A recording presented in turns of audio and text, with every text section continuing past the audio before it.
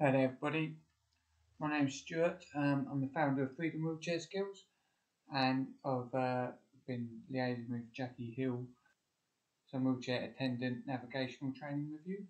Um, I just thought it'd be sensible to share some information about my background with you to save on introductions on the day.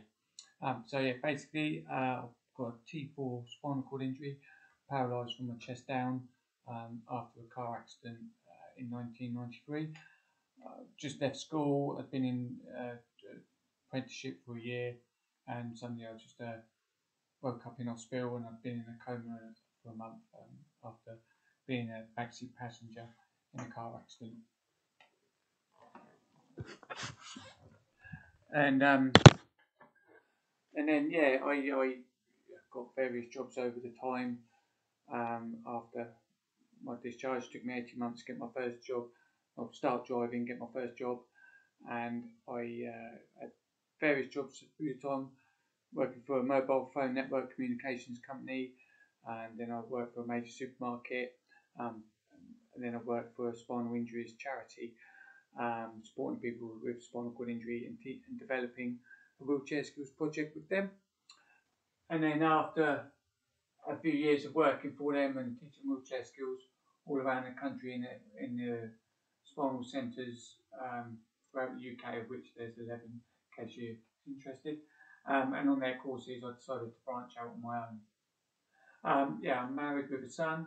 I like going to see live music, um, spending time with my friend, cooking curries, and um, you know, spending time with my family. So the training I'm going to do with you on the 13th of October is attendant navigational wheelchair training.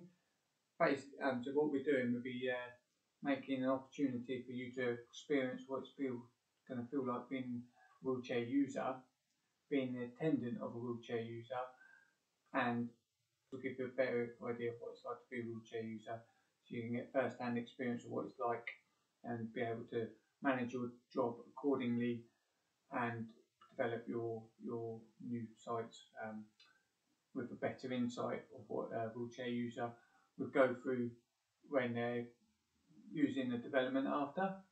Okay, so I'm not very good on tech, so if you want to ask me any questions, more, um, just feel free to check my website out or send me an email. The website details should be across the screen now. Um, it won't be a hyperlink because I wouldn't know how to do. I'm not very good with technology, so just copy and paste it, or just put into Google Freedom Wheelchair Skills. And if you've got any questions, yeah, feel free to give me a, an email or uh, drop me a line.